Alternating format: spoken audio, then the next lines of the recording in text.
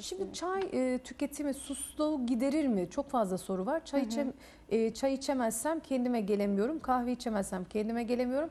Çok fazla da su tüketemiyorum diye gelen sorular var. Çayın yeri tabii ki hiçbir şey tutmaz. Suyun yerini tutmaz ama olmazsa olmaz su diyoruz. Damak tadımıza göre özellikle su Evet. mutlaka. Özellikle su e, fazla miktarda çay kahve tükettiğimizde aslında bunlar vücuttan su attığı için gün içerisinde daha fazla susamaya sebep olacaktır. Özellikle tansiyon hastasıysanız e, çok fazla çay içmenizi önermiyoruz. E, ve bitki çayları da aynı şekilde. Yine 2-3 fincandan fazla içmeyin bu iftar ile sahur arasında. Eğer herhangi bir sağlık sıkıntınız yoksa aslında kayısı çayı gibi çaylar tüketilebilir kabızlık için. Veya e, yeşil çay tüketebilirsiniz. Beyaz çay, kiraz sapı çayı özellikle ödem atmada tüketebilirsiniz.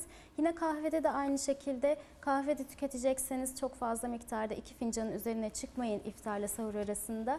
Çünkü bunlar yine kahve de aynı şekilde vücuttan su attığı için yine susamaya sebep olacaktır gün içerisinde.